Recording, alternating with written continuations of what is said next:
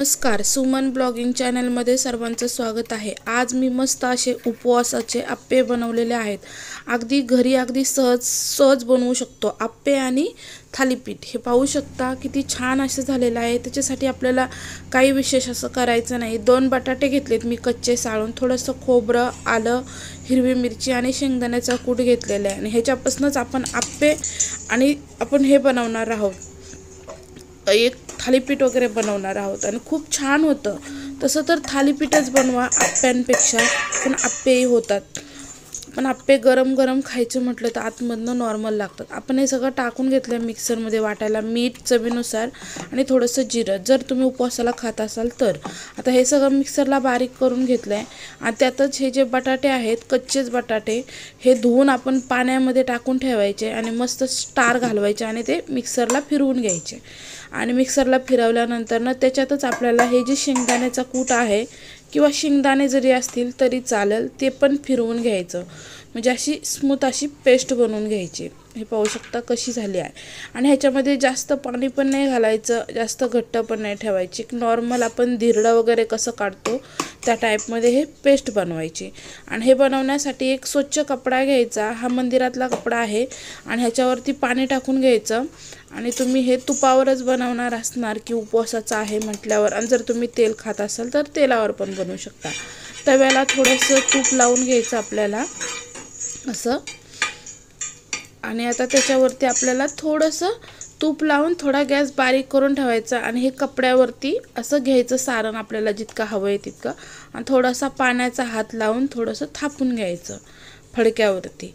कारण हे खूप पातळ आहे आणि हे थोडंसं घट्ट असेल तरी चांगलं. माझं थोडंसं पातळ झालेलं आहे पण तरी काय हरकत नाही. आता हे आपण असं गॅसवरती फडकं टाकून घ्यायचं. थोडंसं हलकं हाताने दाबायचं आणि हळूच ते फडकं सोडवून घ्यायचं त्याचं. फडकं वल्लं असल्यामुळे आरामात सुटतं हे पाहू शकता. आणि आता हे थोडंफार चिटकलेलं असेल तर ते पण लावून घ्यायचं.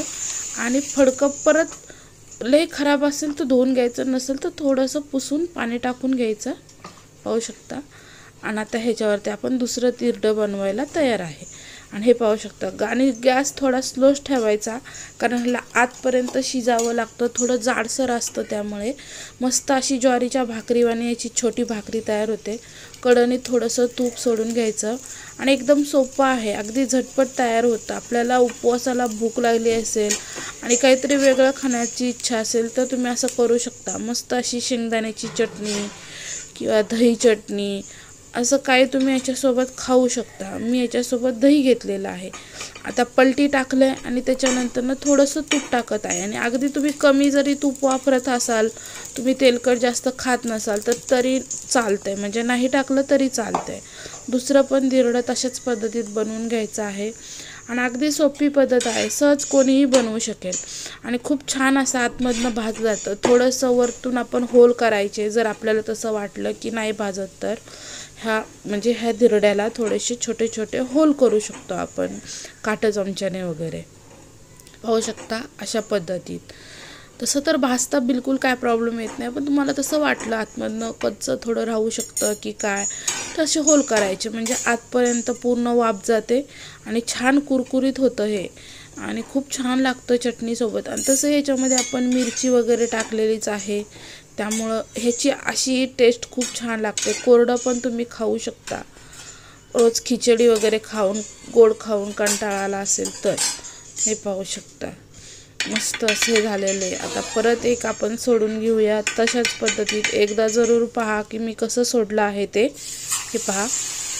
हे पण तसंच आपण सोडून घेतलं आहे आणि खूप छान होतं. आणि ह्याच पिठापासून आपण आप्पे पण बनवलेले आहेत. पण माझ्यासाठी आप्पे आणि हे ह्याच्यामध्ये फरक जर सांगायचं झालं तर हे दिरडं छान होतं आहे आप्प्यांपेक्षा. कारण हे छान कडक भाजलं जातं. आणि आप्पे मोठे गोल असल्यामुळे ते थोडेशा आतमधनं असे गिजगीज वाटतात. भाजतात तसे आतमधनं पण ते गरम गरम खायचे असतात. आणि गार खा गार झाल्यावर कोण खातं आहे गरम खायला गेलं की ते आतमधनं असे वल्ले वल्ले जाणवतात. जसं की कच्च असल्यासारखे जाणवतात. भाजतात पण तसंच जाणवतं. त्यामुळं खायला मजा येत नाही. त्यामुळे मी ह्या दोन्ही रेसिपी ट्राय केलेल्या आहेत. तुम्ही पण नक्कीच ट्राय करा. आणि दोन्हीमध्ये ही रेसिपी जी आहे हे थालीपीठ बनवण्याची. ही खूपच छान आहे आणि खूप सहज होतात. एकदम टेस्टी पण लागतात खायला. नक्की ट्राय करा. हे पाहू शकता. किती छान भाजत आहेत. अगदी एक व्यक्तीला एक दोन बनवून दिले तर पोटभर जेवण होतंय त्यांचं. आणि तुपामुळं धूर निघत आहे. आणि हे दह्यासोबत आपण खाणार आहोत. किती छान पाहू शकता. तुम्ही चटणीसोबत पण खाऊ शकता. मस्त असं. पाहू शकता कसं आतमधनं शिजलंय. मस्त असं भाकरीवाणी झालंय. आता हे मी मिस्टरांना देत आहे. हे पाहू शकता. त्यांना उपवास आहे गुरुवारचा. त्यामुळे त्यांना म्हटलं ट्राय करून बघा कसं झालंय.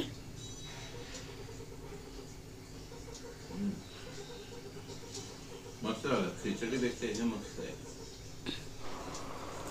खिचडीपेक्षा छान झालं आहे म्हटलं. आता हे थोडंसं जे सारण राहिलं आहे त्याच्यामध्ये मी आणखीन थोडंसं पाणी टाकून घेत आहे कारण की एवढं पण घट्ट नाही चालणार आपल्याला आप्प्यांसाठी. आणि आता आम्ही आप्प्याचा तवा ठेवला आहे थोडं थोडं तूप टाकून घेत आहे. आणि मी हे ट्राय करत आहे आप्प्यांसाठी. मी आप्प्यांसाठी कधी ट्राय नव्हतं केलं. मी आत्ता पहिल्यांदाच करत आहे. तसे होतात छान. आणि मी तुम्हाला पण दाखवत आहे. पाहू शकता. आता ह्याच्यामध्ये आपण हे तूप टाकून घेतलं आहे आणि ह्याच्यामध्ये थोडं थोडं हे सारण भरून घ्यायचं आपल्याला. आणि हे आप्पे बनवताना थोडा वेळ लागतो. अगदी बारीक गॅसवरती तसंच ठेवावं लागतं. त्यामुळे छान खरपूस भाजलं जातं. थोडा वेळ लागतो त्याला. हे पाहू शकता सगळे मी आप्पे टाकून घेतले थोडंसं झाकून ठेवलं.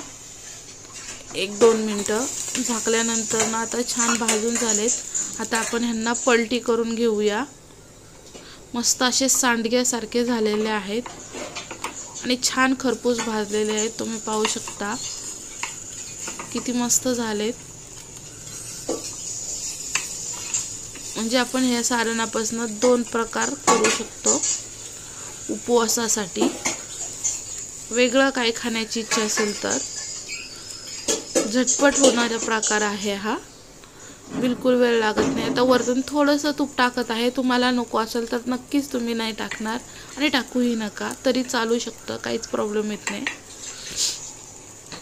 मस्त असे आता आपले आप्पे तयार झालेले आहेत. पाहू शकता. हे पण तुम्ही ट्राय करून खाऊ शकता.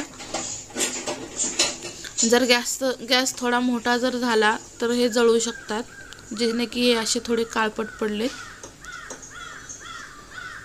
पाहू शकता. आणि कशी वाटली ही रेसिपी नक्कीच कमेंट करून सांगा. लाईक सबस्क्राईब शेअर जरूर करा.